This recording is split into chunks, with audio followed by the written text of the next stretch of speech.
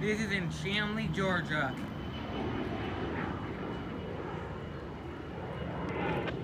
Here we see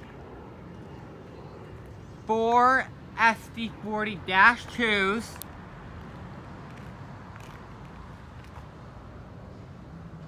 Actually six if you count those two. The 3531 is a ex-Burlington Northern. You can see where there is no headlight. There used to be in between the 3531 number boards. They were replaced it up above the front of the nose.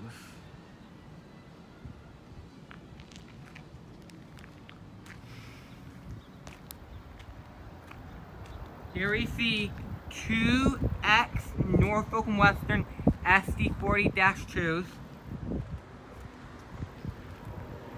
No idea when NS painted them in Norfolk Southern colors. That they used to be um, painted in Norfolk Western colors. I guess Norfolk Southern put a patch and then did a full paint. We have EMD trucks.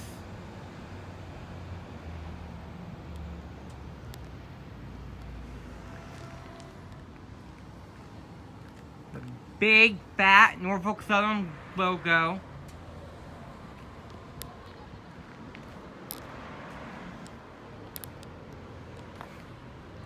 Sixteen forty nine SD forty dash 2 and 1638 SD40-2.